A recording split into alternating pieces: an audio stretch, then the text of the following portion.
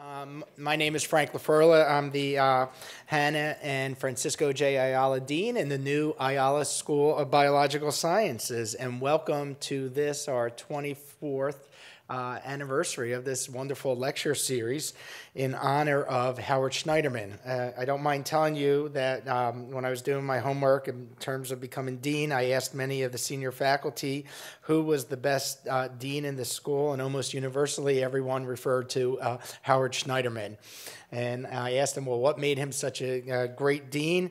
And they said it was his personality. He just was a tour de force, and he would just go up and give everyone a big bear hug. And they said that's the role model that you want to try to model your uh, deanship off of. Uh, so we'll have to ask Audrey if all of that's true. But um, we're really honored that we have um, Audrey Schneiderman here, who's a great friend uh, to the school, and we really appreciate all of the years of support that you have given uh, the now Ayala School of uh, Biological Sciences. Also, of course, want to thank um, our staff in the dean's office, uh, Brian Carlson in the back, and Alyssa Sanchez for all the hard work that they do in helping uh, to organize this, and of course the associate deans, Robin Bush uh, and Dave Gardiner for helping to put uh, this topic together. I think it's going to be a really uh, exciting.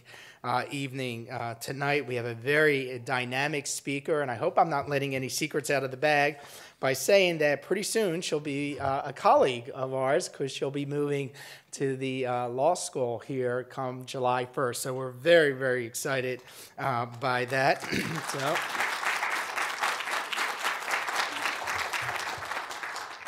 Uh, very dynamic and exciting uh, individual and scholar.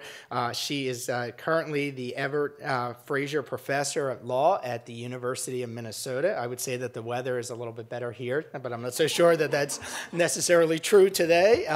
As a matter of fact, we probably lost a lot of few folks to some of the local fires uh, that are going on there. Uh, so, um, you know, prior to teaching uh, law, Dr. Goodwin was a postdoctoral fellow at Yale University, and her research there helped to contribute to our understanding of uh, human experimentation on female slaves uh, in the United States during the antebellum um, period. Uh, she has won many, many uh, awards. I could spend all night just staying up here reading some of them. But she has um, been uh, featured in the New York Times, Washington Post, Chicago Sun Times, Forbes Magazine, the Christian Science Monitors. Uh, she is a very prolific author and has published four books and more than 60 law review articles, book chapters, and book reviews. Uh, she's also, as uh, you know, as was evident from all those places that she's appeared, uh, a constant blogger, and her opinion is highly sought after on issues of health, class, uh, race, and uh, gender as you would expect of someone of her stature. She has won many, many awards, um, including uh, some like the Faculty Achievement Award, the Outstanding Scholarship Award, the Black Pearl Award, the Urban League Women's History Month Honor, the Chicago uh, History Museum Pioneering Woman, uh, Woman Award. And the one I found most intriguing was in 2001, the governor of Kentucky commissioned her as a colonel for her outstanding contributions in education. So that's um, uh, pretty amazing. So I guess we should salute as well. So anyway, let's welcome a very distinguished speaker here today. Thank you. Thank you so much. I appreciate that. Thank you all for coming out. I very much appreciate it. Now, I'm, I'm getting set up here with my timer to make sure that I uh, don't go over. Uh, it's an honor and a pleasure to be here. Uh, it's, it's an honor because you've extended me this invitation to share my research with you. And I want to thank some of the people who helped to make this possible, including Robin Bush, who chaired the Schneiderman Memorial Bioethics Committee, uh, Mrs. Audrey Schneiderman, who's here this evening. Thank you so much for being here. Uh, Dr. Michael uh, Buchmeier, uh, Dr. Felicia Cohn, Dr. Sheldon Greenfield. These are some of the people who are who served on the committee, including Dr. Stuart Krassner, uh, Dr. Marcus Ribby, uh, and Elisa Sanchez, who made all of my arrangements possible, and also Dean Frank LaFerla, who invited me here. So let's get started with this talk. Now, in the season opening, of Mad Men, a show on the AMC network. The show's protagonist, uh, Donald Draper, it's not supposed to end after one minute. Look at that. Talk's over. Okay, so, so much for my timer. Okay. Uh, Don, who has worked closely with uh, his colleagues um, at the advertising agency, believes that he can share a deeply personal story about his birth and how he grew up. He believes that he can tell this story, which replaces the truth that his colleagues have believed for some time, and that his colleagues will be prepared not only to hear it in the manner in which he intends, but there will not be costs associated for sharing the information. As those of you who watch the show, and I have to admit, I don't even watch the show, but for those of you who know, he's, he's wrong. Don reveals a very powerful story, though, uh, in front of a potential client who's also there with his colleagues. So it turns out that Don Draper, or Dick Whitman, his true identity, was born in 1926. Dick was the illegitimate child of a prostitute who died during childbirth. Uh, Dick lived with his father uh, and his father's wife until he was about 10, at which time his alcoholic father uh, gets hurt by a horse that kicks his father in the face. He sees this, his father dies. Soon after that, uh, his stepmother moves him and she herself, they move into a brothel. And so he grows up in a brothel and he's raped as a child by a prostitute. Dick's life, including dropping out of high school and going into the military, changes when he's in military service in the Korean War uh, and he assumes the identity of the real Don Draper. Um, and he does this after Don Draper is killed, and they're off uh, in a secluded location, actually building a hospital. Uh, Dick switches the ID tags with Lieutenant Draper and assumes Draper's name, cutting off contact with his family and creating a whole new life for himself. And you figure, you know, given the life that he had, why wouldn't he try to find a new life? So Don tells this gripping story in front of his colleagues and a client. He tells it because he wants to engage with clean hands. He tells it because he believes that he can. And those of you who, know, who watch the show know the rest.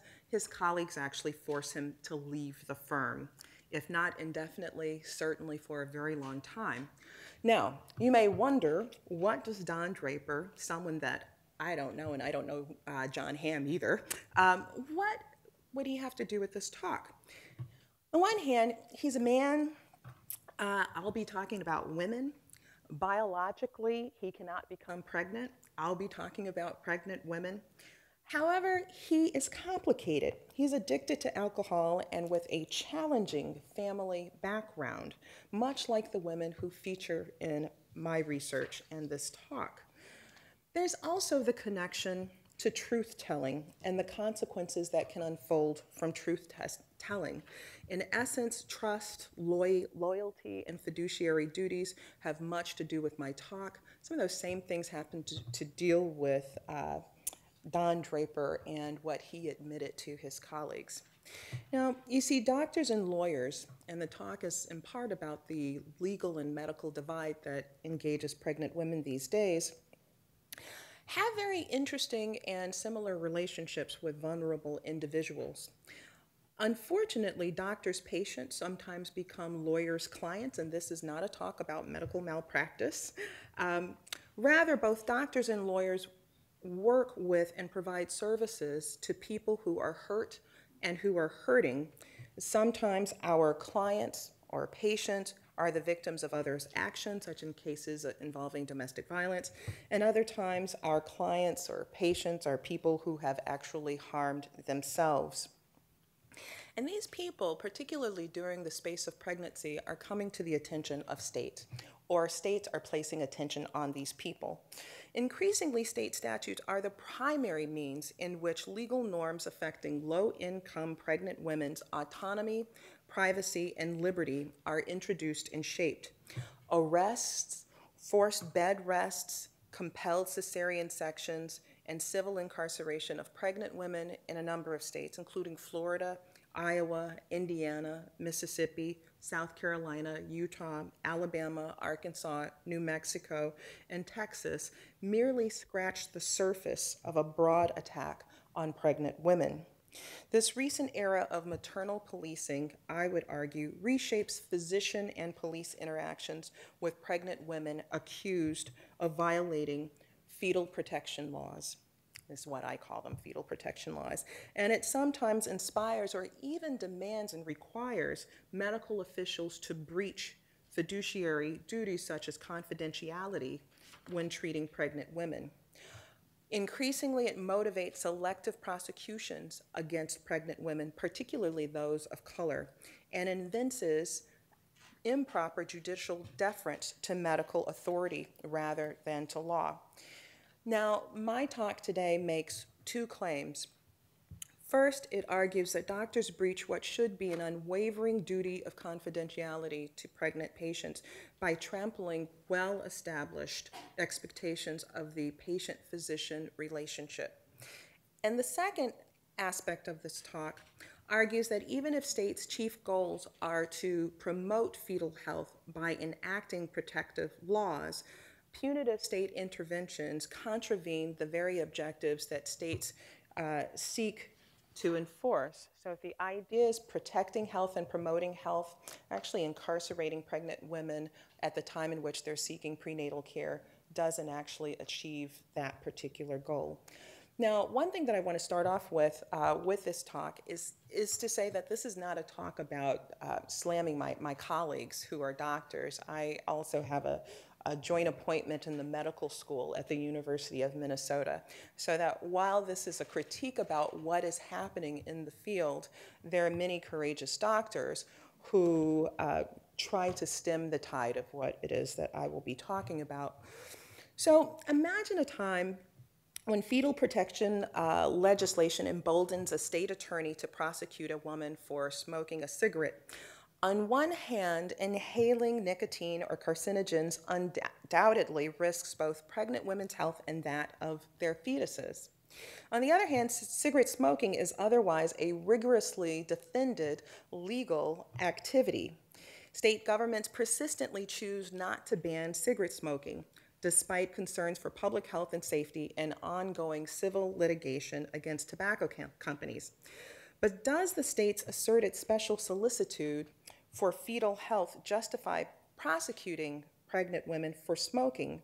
And would such prosecutions pass constitutional muster? When the state chooses to prosecute a pregnant woman for threatening fetal health, it raises a host of questions. For example, under what circumstances and justifications does it do so?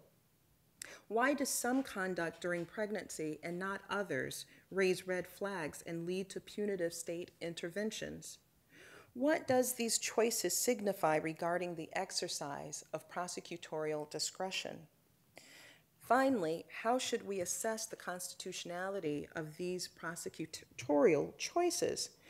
These questions are important because state statutes are the primary means through which medical and constitutional norms, including selective invasions of privacy, disclosure of medical information, arrests, prosecutions, and convictions relating to pregnant women, are introduced and shaped.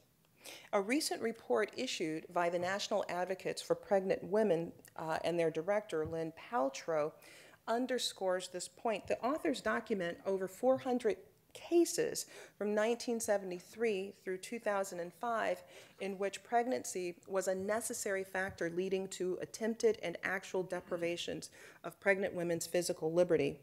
Their account of fetal protection interventions on pregnant women adds to the earliest literature in this field, examining the intersections of race and sex in policing women's reproduction.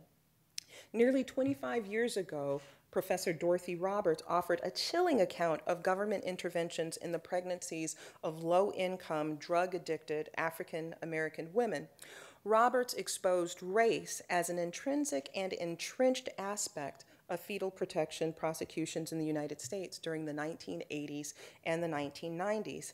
She explained how state intrusions on the pregnancies of poor women of color, quote, are particularly harsh because these women are the least likely to obtain adequate prenatal care, the most vulnerable to government monitoring, and the least able to conform to the white middle class standard of motherhood. Now, statutes drafted and some enacted these days dramatically exceed the prior limits, sort of exceed what she talked about years ago, extending beyond poor pregnant African American uh, women and their illicit drug use, including crack. Contemporary fetal protection includes sanctioning women for refusing cesarean sections, forcibly confining them to bed rest, and instigating prosecutions for otherwise legal conduct. Uh, as I'll talk about, this includes women falling downstairs. For example, a woman in Iowa was uh, confined for three days in a jail because she fell down steps and had told her medical provider that when she first discovered that she was pregnant, she had considered having an abortion, but that was 20 weeks before. Now, it's very interesting about the, sort of what's happening today versus um, years ago is that um, over a hundred years ago is a very different way in which the law regarded women and their pregnancies. In fact, it was pretty well ensconced in U.S. law that a woman could not be prosecuted for her behavior during her pregnancy. And the reason why is that courts, U.S. courts, found that they could not do this because a child needed to be born alive. Basic idea meaning that fetuses did not have personhood. But now, contemporary fetal protection laws um, ignore this particular history and the history for it. In Alabama, for example, a recently enacted law uh, now includes an unborn child at any stage of development, uh, regardless of viability, is a person and a human being for purposes of criminal state law. In 2013, uh, the Alabama Supreme Court further expanded fetal rights in that state by interpreting the ch- term child to be synonymous with not only a viable fetus, but also a non viable fetus. And the Alabama Supreme Court uh, did this recognizing that that would be inconsistent with the Supreme Court, the U.S. Supreme Court's holding in Roe v. Wade. Um, the Alabama Supreme Court uh, basically upheld this in a case by the name of Ex parte uh, finding that it was illegal under the statute um, not only for pregnant women in that state to ingest illicit substances, but also to even enter locations wherein illicit substances are manufactured and sold. So, the point that I want to, to make um, is that across the country there has been a widespread well, a swelling of legislation, if you will, to pay attention to women's pregnancy.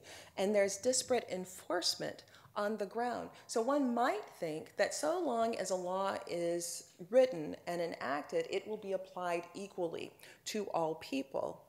But the point that I wish to make is that those who happen to be at the lowest rungs of society in terms of their economic status experience these laws in a very different kind of way than do people who are better off. And some of this really isn't new. And by that, I mean to say that um, decades ago, in fact, during Don Draper's time, right? He's, he's born in the 1920s. It's 1927 when the US Supreme Court holds in Buck v. Bell that it's better for all the world than to let the imbecilic starve for their imbecility, that society is better off from uh, denying those to continue their kind, and that three generations of imbeciles are enough, and that the, the authority that a state has to inoculate individuals is the same authority that the state has to forcibly sterilize individuals in those states. What the Supreme Court was doing during that time was giving legal authority to the state of Virginia and all states across the country to sterilize individuals that were considered to be socially unfit. And the case involved a 16 year old girl named Carrie Buck. She was a girl who had been raped, just as Don Draper had been raped. And she, there was a pregnancy resulting from that rape. Um, the state of Virginia wanted to and did incarcerate Carrie because she was deemed to be socially unfit. And the state also wanted to sterilize her so that she would never be able to have another child and therefore populate the state of Virginia with unfit people. The state had already incarcerated Carrie's mother. Carrie's mother had been a prostitute and she was an alcoholic. The case was really a test case going before the US Supreme Court, and it was Justice Oliver Wendell Holmes, who's one of the most revered justices to have ever served on the US Supreme Court, who issued uh, such a stunning opinion, which opened the door for US eugenics. A piece that's lost in history is that the Virginia law, which was a model law for eugenics, was actually the basis for the eugenics law that was adopted by Nazi Germany. At one point in time, US legislators said the Germans are beating us at our own game. The reason why I raise that issue is because in this country, when we had this urgency to sterilize those that we deemed to be socially unfit, it was not the wealthy that were rounded up and placed in colonies across the United States. These were poor people. These were poor white people. Some of these were people of color, but interestingly enough, many of those people uh, were white. And fascinatingly, uh, and, and if you want to know more about this, there's a wonderful documentary called The Lynchburg Story.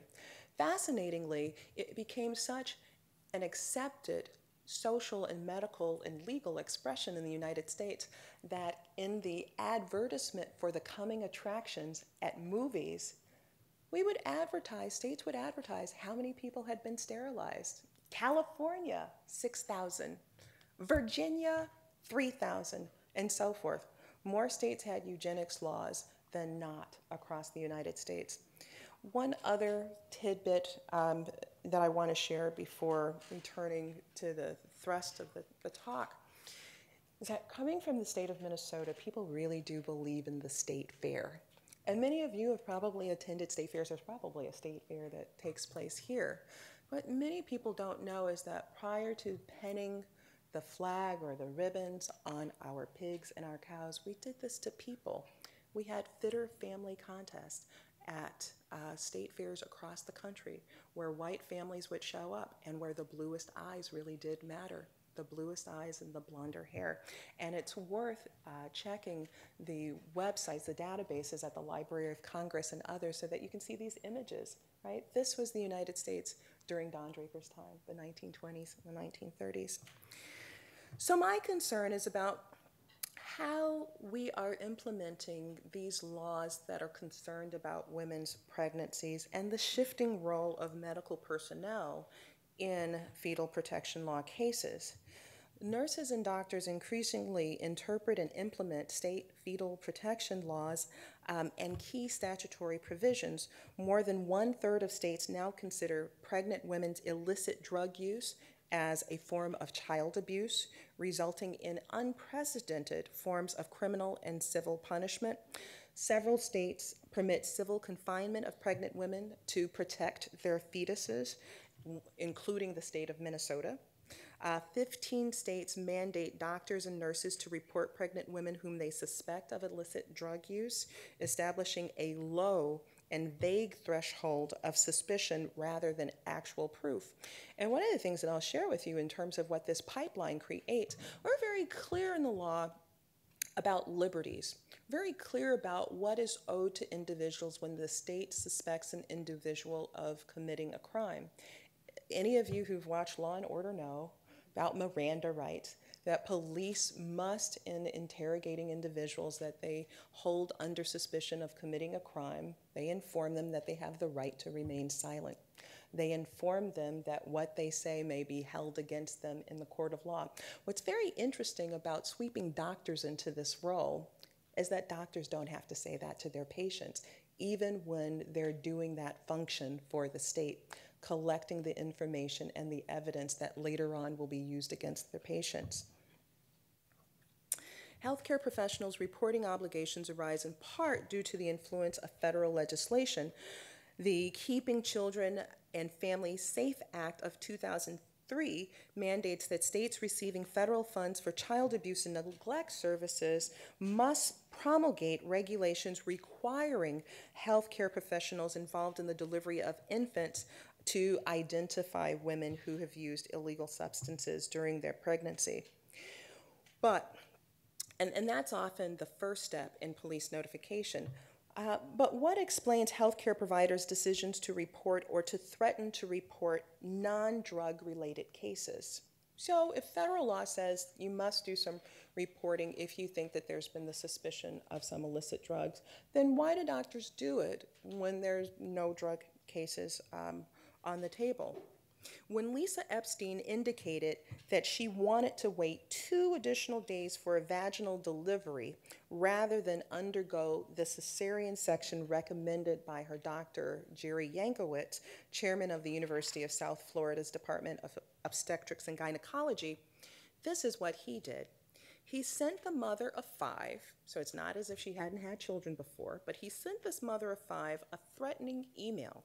And here's what it said I would hate to move to the most extreme option, which is having law enforcement pick you up at your home and bring you in, but you're leaving me with no choice. Was that really leaving him with no choice? To threat to call the police to bring her in so that he could forcibly cut open her womb? Epstein knew that she had a complicated, high risk pregnancy, but did not expect the threat or involvement of law enforcement in giving birth. She recounted to the Tampa Bay Times reporter her fears about, quote, cops on my doorstep taking me away from home in front of my children to force me to having surgery. She recounted feeling betrayed, bullied, and abandoned by her doctor. Eventually, the medical staff at the hospital backed down, but this was only because Lisa Epstein, who comes from a more fluent background, contacted a lawyer, and that lawyer contacted the National Advocates for Pregnant Women, and they sent a cease and desist letter demanding Dr. Yankowitz cease and desist any further threats or actions against uh, that patient. And she was a more sophisticated woman. She had a lawyer, and she could do that. In their politicized roles as deputized interpreters of law, physicians and nurses may misinterpret law, or even worse, may prioritize exercising their legal judgment over their medical judgment. In this context, physicians and nurses are called upon to wear two hats First, that of the healthcare provider, and then that of the law enforcer. Now, there are three main conflicts that arise when medical personnel act as both the healthcare provider and also the law enforcer. First, patients' interest in their health and privacy may become subordinate to physicians' desires to accommodate or promote the state's interest. Indeed, physicians and nurses may fear civil or criminal punishment for failing to perform um, these duties um, that are obligated by the state. They may fear their own criminal punishment if they don't inform on their patients. Second, physicians' legal duties to comply with law enforcement protocols may conflict with their ethical duties to their patients, including maintaining confidentiality and also avoiding malfeasance. And third, physicians' obligations to the profession may conflict with obligations of law enforcement by interfering with physicians' independent medical judgment. Importantly, in addition to any conflicts of interest that might arise in these contexts, medical professionals' legal decisions may also be at odds with patients' constitutional rights. Now, cases across the country illustrate this, and I'm going to give you some of these narratives, offer some of these to you. And I select these, this is not it's not cherry picking. Cherry picking in the law is when we say that you know you're just using sort of isolated cases, but there are really a whole lot, a lot of other cases that don't conform to that particular truth. But these are just some that I'm picking out. There are hundreds of others. Um, as I mentioned, in Alabama, just in the last year, there have been over 60 prosecutions of pregnant women um, just for um, entering uh, a meth lab there. Um, so let's start off.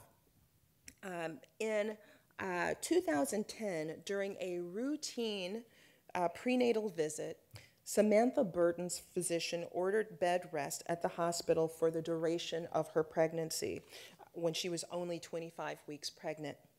While recommending bed rest to a patient is nothing unusual at all, seeking a court order to enforce it is another matter.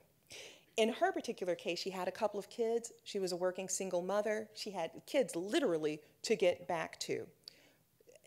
Doctors cut that short. They sought a court order right away, couldn't even get home, couldn't even get a second opinion. Yet officials at the hospital Burton visited did just that, setting into action a plan to obtain a court order allowing the hospital to confine Burton against her will. In the process, these officials refused to consider Burton's protestations for a second opinion, her desire to return home to her two children, or her plea to switch to a different hospital Instead, Burton was relegated to conditions emblematic of solitary confinement. She remained alone in a dreary hospital room until her fetus died and was surgically removed from her womb three days later. Forced medical solitary confinement, while distinct from prison solitary confinement, shares relevant parallels that trigger human and constitutional rights concerns pertaining to the deprivation of liberty, forced institutional restraint, isolation from the general population and community, the denial of contact, the loss of freedom to move within a facility. There can be a mental health deterioration, um, and also, of course, stigma.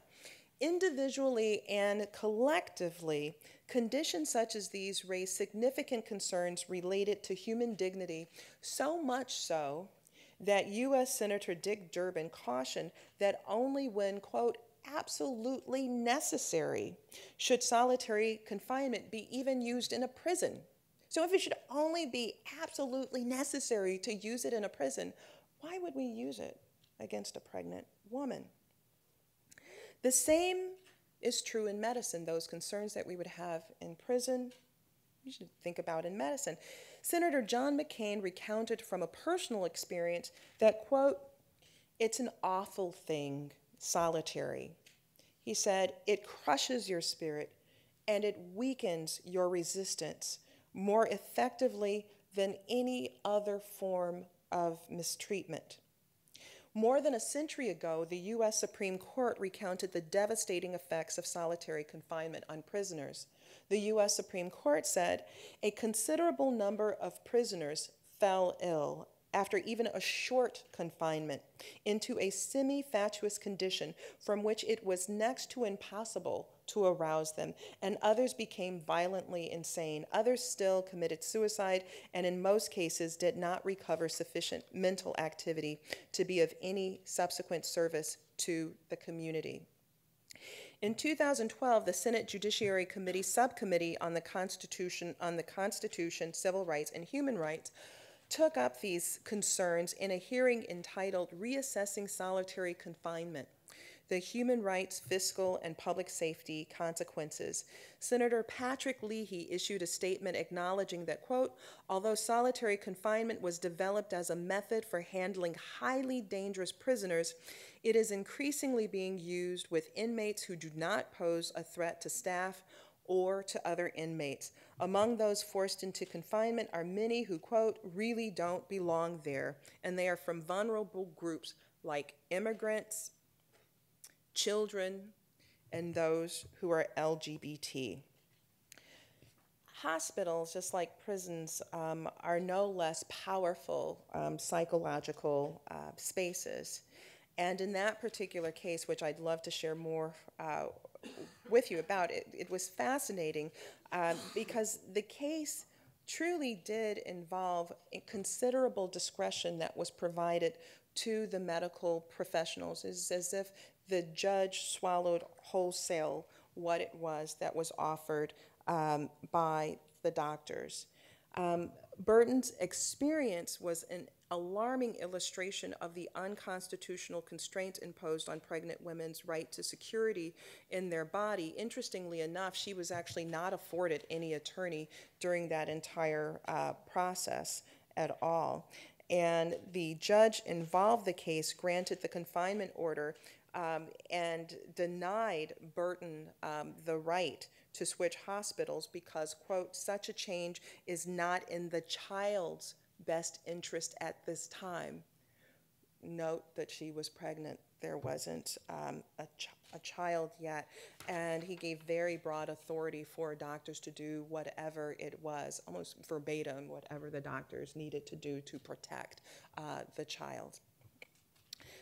Like Samantha Burton, Christine Taylor, a 22 year old pregnant mother of two living in Iowa, did not anticipate that a medical visit could result in her incarceration.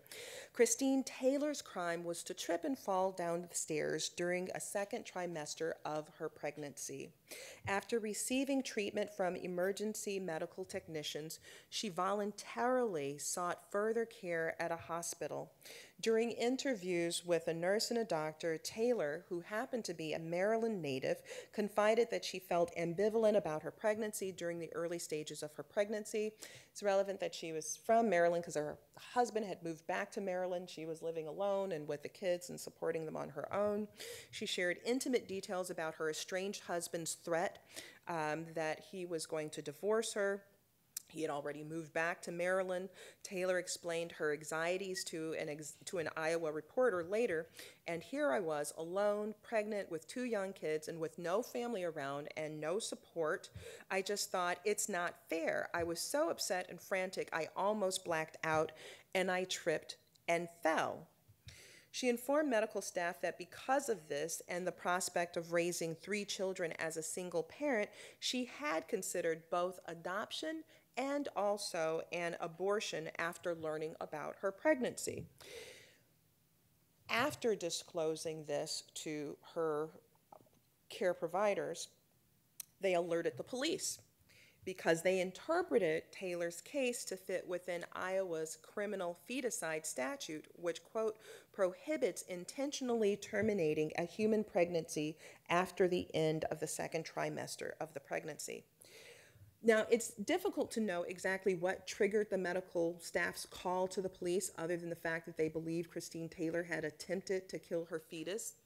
Was it a misinterpretation uh, and a misperception that even considering an abortion during the first trimester of a, of a pregnancy served as sufficient evidence um, weeks later uh, of a harm to uh, terminate her pregnancy? According to a reporter who interviewed Taylor, quote, she believes the personal views of medical workers played a part in the decision to accuse her of attempted feticide. Could it have been that she lacked credibility to medical staff who assumed that Given her earlier ambivalence about the pregnancy, the fall was in fact a surreptitious attempt to abort her fetus? Or might this case simply be about a perceived medical duty to report? It could be any of these particular um, circumstances. Taylor's pregnancy survived her fall, Nevertheless, she was arrested shortly after leaving the hospital and returning home to her children. Two squad cars intercepted her taxi, and officers arrested her. Christine Taylor was incarcerated at the local jail for two days while police launched an investigation to determine whether she meant to kill her fetus by tripping in her home. For three weeks, local prosecutors pursued their attempted feticide investigation against her until the case was dropped. But according to the prosecutor, only because Taylor was in the second trimester of her pregnancy and not the third when she fell is what brought her outside of the feticide statute, suggesting that while the medical staff had just simply made a mistake in interpreting the law, had she just been another few weeks along, then he would have pursued this feticide case. In both Christine and Samantha's cases, physicians erred in their interpretations of law. There was no legal foundation for the forced confinement and cesarean section ordered in Samantha Burton's case, and Christine Taylor's doctor lacked sufficient legal grounds to alert law enforcement against her. And as we all know, tripping down the stairs is nothing that uh, it's, it's not a crime. Now, in another case, right, I mean, gosh, imagine, right, just what being pregnant, uh, what, what this opens uh, the, the door to. Uh, in Utah, uh, there's a, a criminal law statute that provides for uh, the criminal prosecution of women who engage in reckless conduct during pregnancy. Now, when you think about it, you know, what do we consider reckless? You going to Disneyland, uh, and going on a ride with your kids while pregnant. Uh, is that something that happens to be reckless? Uh, we know that lemon based juices and products can have an emmenagogic effect. So, if you drink too much lemonade during pregnancy, is that something that constitutes reckless conduct? We could go down the list with the things that could be interpreted under this view to be reckless. Now, in Rennie Gibbs' case, it's an ongoing criminal prosecution in Mississippi for depraved heart murder of her dead fetus. Um, and I'll tell you, you know, about this because it further illustrates the extent to which physicians and medical staff may misconstrue and misinterpret fetal protection laws. Now, despite a judge recently throwing out her case, prosecutors claim that they may in fact, uh, bring it about again. As with Christine Taylor's encounter at a hospital in Iowa, which arrested in her arrest, the prosecution of Rennie Gibbs, an African American teen, hinged on the doctor's construal of her conduct toward her stillborn infant. In Gibbs' case, the medical examiner claimed that uh, her drug addiction, which did not abate during pregnancy, demonstrated indifference towards the life of her fetus, and its death was the direct result of her depraved heart. Her arrest and prosecution following a traumatic prenatal uh, perinatal outcome is yet another example of the misuse and misapplication of medical information for politicized reproductive purposes. Now, in her case, um, she was 15 years old when she was uh, pregnant and barely 16 when she gave birth and she uh, had a stillborn and she was charged as an adult. And a successful prosecution was going to mean life in prison for her. Um, I'll tell you another case that I was recently involved with as an expert witness is a case um, in Indiana that involved Bei Bei Shuai. Some of you may have heard of her name. She's a Chinese immigrant, and uh, with Bei, her boyfriend uh, left her uh, crying in a parking lot shortly before Christmas a couple years ago. Uh, she was pregnant, and he was going to leave her and actually go back to his his wife. Uh, she decided that she would kill herself, and she attempted to do that. She went home and she uh, she bought before going home rat poison and she ate five packets of rat poison. Uh, a friend of hers uh, discovered her and took her to the hospital where physicians engaged in very aggressive uh, medical therapies uh, to rescue her life and also that of uh, her fetus. They induced uh, delivery, and the child survived for about four days. and Bei Shuai uh, survived this encounter and for several months was then in a mental health facility uh, given her own trauma. Interestingly, when she came through her trauma, uh, prosecutors charged her with first degree murder. Now, this despite the fact that in the state of Indiana, it is not a crime to attempt to kill yourself at all. Uh, and the case uh, was it wasn't dropped. I mean, she, the, the prosecutor dropped the, the first degree murder charges uh, in the case, which would have resulted if she were convicted uh, for more than 45 years in prison.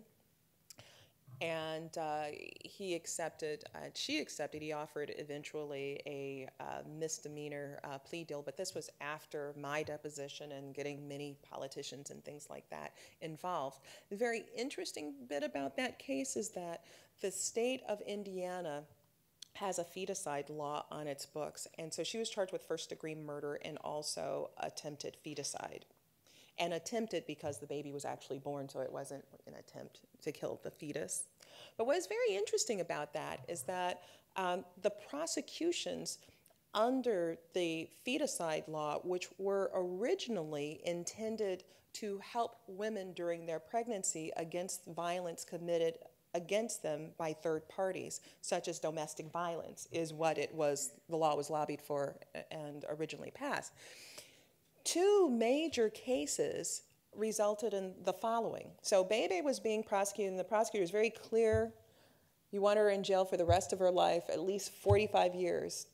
Two major cases involving this particular law. One involved a guy who uh, came to his girlfriend's house in the middle of the night, uh, attempted to kill her friends and to kill her, and stabbed her in the in the womb, and, and they believe she died.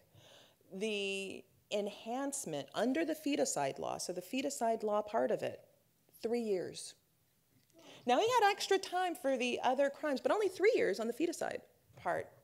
In another case that involved a bank robber, uh, he goes to a bank, he jumps over the teller's counter, and she's pregnant with twins. He shoots her in the abdomen.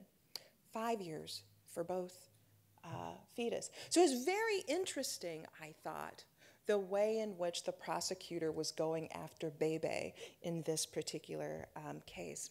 Now, as I begin to wrap up, I want to just talk about um, a couple of other cases that have been in, in the news, and, and then I'll, I'll wrap up and we can have some Q&A time. Some of you may remember or recall very recently the Texas case involving Marlise Munoz. Um, that's a case in which Texas hospital officials refused to remove the 33 year old Marlise Munoz, a brain dead woman, from life support uh, for two months because she was pregnant. Um, in November, uh, when she was about 14 weeks into her pregnancy, it's believed that um, um, there was a blood clot that entered her lungs, and this is what uh, caused her debilitation. And then at the hospital, uh, she was uh, pronounced uh, brain dead. Her family members wanted her removed from life support, uh, but we all learned that Texas has a law uh, that overrides someone said Texas, uh, that overrides uh, overrides families' uh, wishes in this regard. But interestingly, Texas is one of more than two dozen states that re- that prohibit removing life support from a pregnant woman.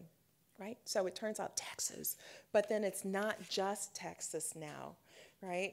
Um, and last two cases that I want to, to, to talk about, and I only mention that particular case because it also gives another view of this kind of anxiety around women and their pregnancies. And much of this is happening underground. The discourse that's above ground with regard to pregnancy is about abortion, but the discourse underground, interestingly enough, um, isn't being captured at all. And interesting, ironically, a lot of it involves women who are actually trying to keep their pregnancies, who are being arrested. And fascinatingly, and some of you probably know this, there are children being raised in prisons in the US right now, and that's considered progressive. We'll let you keep your child with you in prison. You know, don't worry. It can see you shackled and going into the dining hall facilities with other people in orange. And this is a good thing. I mean, how ironic is that? And that we permit this until the kids are age four. Last couple of cases, and then I'll open up for, for Q&A. Um, Angela Carter. Uh, it's a very interesting uh, case um, because it also involves an end of life tragedy. Uh, Carter was a cancer patient, uh, and her cancer went into remission, and she, went on to, um, the cancer was actually in her youth when she was a kid. She goes on to marry uh, and become pregnant. And it is during the time of her pregnancy that uh, her cancer returns, and she requests chemotherapy from her medical providers.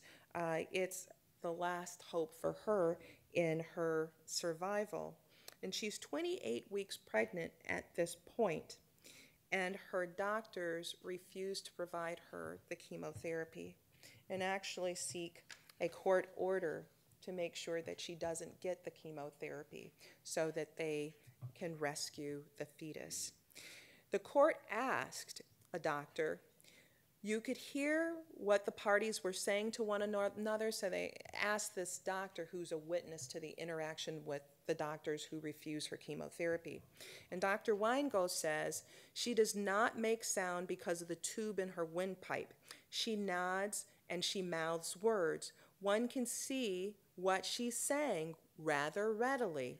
She asked whether she would survive the operation, meaning the C section and delivery she asked Dr. Hamner if he would perform the operation. He told her that he would only perform it if she authorized it, but it would be done in any case. So if you authorize it, but I'll do it in any case. She understood that. She then seemed to pause for a few moments and then very clearly mouthed words several times I don't want it done. I don't want it done quite clear to me. Despite this, the doctors performed the cesarean, cesarean section on her, declined, denied the chemotherapy. Uh, the baby survived for two hours and she was dead in two days. So, what does this all represent for us? And I'll close with this, thinking about the fiduciary relationship, criminal leverage, and medical utility. So, noticeably absent in the operation of these contemporary fetal protection efforts are these foundational, internationally agreed upon bioethics principles informed consent, autonomy, social justice, and voluntary participation. The earliest collective iterations of these principles derived from the adjudicative process in the criminal trials uh, involving Nazi doctors in Nuremberg. These doctors' deliberate disregard for the health and safety of non consenting human subjects in their research studies on sterilization, interestingly enough, serology, human survival under distressing conditions, and mastery of euthanasia resulted in deaths and severe disabilities amongst survivors. The Nuremberg doctors' trial contributed to the articulation and establishment of universally recognized human rights principles in law and medicine that specify doctors' fiduciary duties and form the ethical framework for the physician patient relationship. Originally, these principles defined the general standard for medical experimentation on human subjects. However, they now cohere to form the basis of physicians' fiduciary obligations to patients, namely that voluntary consent is an essential component of any kind of medical treatment, that confidentiality happens to be paramount to the physician patient relationship and should not be trespassed by healthcare providers. That medical treatment should avoid subjecting patients to unnecessary suffering, including but not limited to unnecessary reproductive surgeries. Additionally, patients must be at liberty to withdraw from medical treatment, even if rejecting medical assistance might result in their deaths. And this is incredibly uh, important. There's much more that I could be said about, about all of this, but I just leave you with those closing thoughts about the importance of maintaining these very important principles that were deeply ensconced in law more than a half century ago. And it is so ironic that, um, that what we learned from that period so long ago, we now need to revisit in these particular cases. And I'm particularly concerned uh, in these cases because these are the people who happen to be the most voiceless. These are the women who happen to be indigent. These are the women who happen to lack political clout, and they also lack a certain type of social clout. As I began, and I mentioned the story about Carrie Buck and what happened in 1927 to her, and how easy it was to just sort of you know, um, how easy it was to engage in processes of sterilization with women who were like her.